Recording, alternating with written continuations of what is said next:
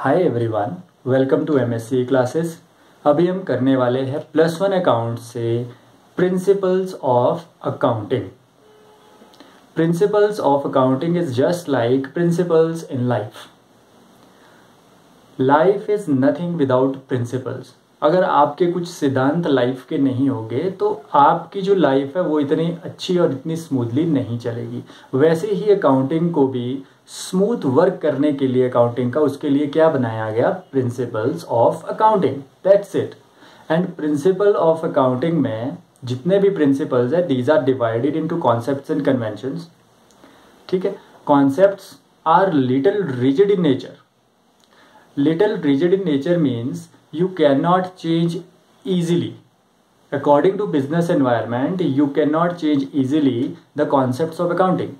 But conventions are not so rigid in nature ये इतने कठोर नहीं होते अपने नेचर से कि आप अकॉर्डिंग टू बिज़नेस एनवायरनमेंट उसको चेंज ना कर सके. इज़ इट क्लियर तो इसके बाद कुछ प्रिंसिपल्स धीरे धीरे हम हर वीडियो में दो या तीन प्रिंसिपल्स करते जाएँगे। और हर वीडियो में दो तीन तीन करके हमारे प्रिंसिपल्स कंप्लीट हो जाए। तो चलिए शुरू करते हैं। सबसे पहला प्रिंसिपल आपका क्या है? सो so, टॉपिक हमारे पास आ जाए। Principles of accounting principle accounting में प्रिंसिपल्स ऑफ़ अकाउंटिंग में सबसे पहला प्रिंसिपल आपके पास है। Business entity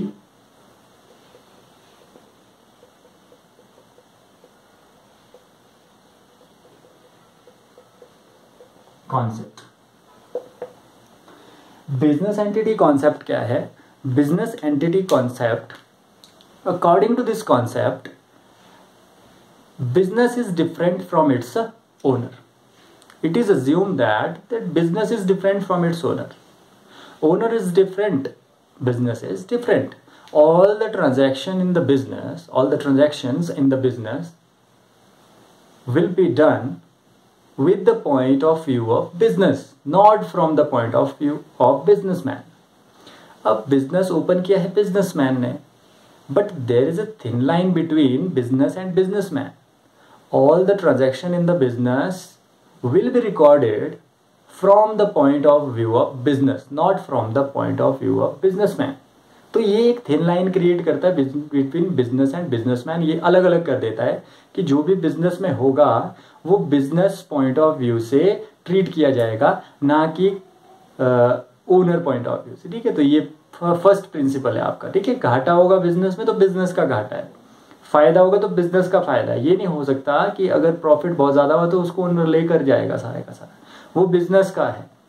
बिज़नेस में तरह तरह के रिज़र्व रखने पड़ेगी। बिज़नेस में आने वाली चीज़ों के लिए कुछ अरेंजमेंट्स करनी पड़ेगी। तो बोलने का मतलब है कि बिज़नेस का पैसा बिज़नेस का है। बिज़नेस की जो ट्रांजैक्शन है, जिसकी वजह से लॉस या प्रॉफिट हुआ, वो बिज़नेस का है, ना कि ओनर का है। तो all the transaction in the business will be recorded in the books of accounts from the point of view of business not from the point of view of businessman i think it's clear now uh, according to this concept it is assumed that business is distinct from its owner they have to they have separate they are separate entities ठीक है business is different and owner is different clear है first अब second पे आते हैं second आएगा आपका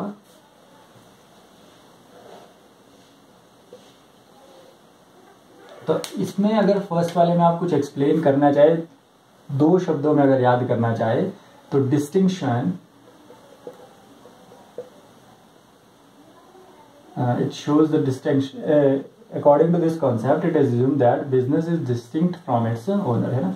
to distinct और separate entities distinction from owner means it shows the distinction of owner from the business. It means owner and business are two different entities. Second one is money.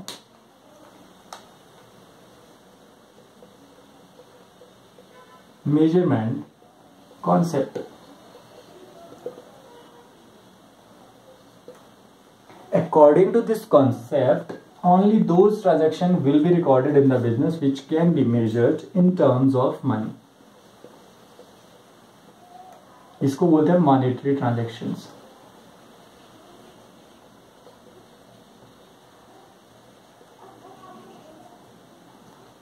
according to this concept ये जो concept है money measurement concept इसके according अगर देखा जाए तो business में सिर्फ़ वो ट्रांजेक्शन रिकॉर्ड की जाएगी।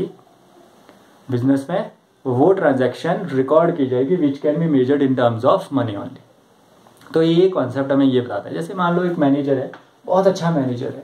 उस इम्प्लॉय का नेचर बहुत अच्छा है। You can not record this qualitative information in books of accounts तो ये प्रिंसिपल वही बताता है। Only those transaction which can be measured the value of which can be measured in terms of money only those transaction can be recorded in the books of account this principle is that and third one is going concern concept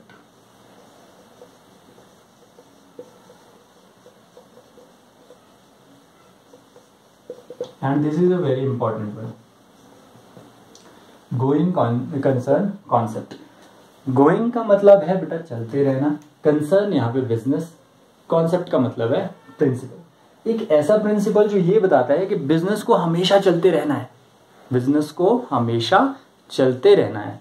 मतलब going चलते रहना है concern मतलब business से है यहाँ पे, और कॉन्सेप्ट का मतलब क्या है? Principle according to this concept it is assumed that according to this concept it is assumed that once business started once business started will go on forever means business shall carry its uh, operations indefinitely for long term means once देखो आपने business start किया अगर आप ये सोच के start करोगे कि आने वाले एक या दो महीने में मेरा बिज़नेस बंद हो जाएगा तो you are not a good business man if you want to be a good business man you have to follow this principle once business started will go on for ever and there is no intention to close down the business in near future foreseeable future means आने वाले future में कभी भी आपको ऐसा नहीं लगना चाहिए, हमारा बिज़नेस बंद हो गया बिज़नेस कर ही नहीं सकते फिर।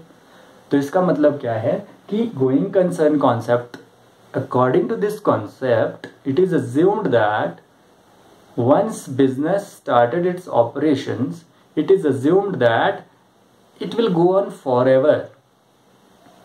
Business shall carry its operation for long term, for indefinitely for long term. And there is no intention to close down the business in the near future. This is all about going concern concept अगर आप इन इस concept के base पे चलोगे, आपका अपना business है in future आज आप कॉमर्स के स्टूडेंट है, आने वाले टाइम में आप बिजनेसमैन बनेंगे। तो आपको कॉन्सेप्ट ध्यान रख देखो ये और ये तो ऑटोमेटिकली अंडरस्टूड है, ये वाला थोड़ा ज़्यादा इंपॉर्टेंट है बिज़नेस एंटिटी कॉन्सेप्ट कि बिजनेसमैन भी अपने हिसाब से सब कुछ नहीं कर सकता बिज़नेस में क्योंकि बिज़नेस पॉइंट ऑफ़ व्यू से देखा जाता है हर चीज़। तो ये डिस्टिंक्शन उनके बीच क्रिएट करता है डिफरेंस क्रिएट करता है दोनों के बीच में। मनी मेज़रमेंट कॉन्सेप्ट बेटा only those transaction will be recorded in the business which can be measured in terms of money only qualitative information will be ignored like is a good employ is a good manager and so on going concern concept means once business started its operation it will it shall care its operation indefinitely for long term and there is no intention to close down the business in the near future. I think all three are clear. Business entity concept clear, money measurement concept clear going concern concept clear तो इस video में हम सिर्फ़ तीन ही discuss करने वाले थे। ये हमने तीन डिस्कस कर दिए। और जो मनी में ट्रांजेक्शन होती है उनको बोलते हैं मॉनेटरी ट्रांजेक्शन और जो मनी में नहीं होती उनको बोलते हैं नॉन मॉनेटरी ट्रांजेक्शन तो नॉन मॉनेटरी ट्रांजेक्शन कभी भी बुक्स ऑफ़ अकाउंट्स में रिकॉर्ड नहीं की जाती। तो इसी के साथ हम इन तीन कॉन्सेप्ट के साथ ही इस क्लास को करते हैं। एंड फिर मिलते हैं नेक्स्ट में, जिसमें हम तीन और लेकर आएँगे आपके लिए principles of accounting thank you so much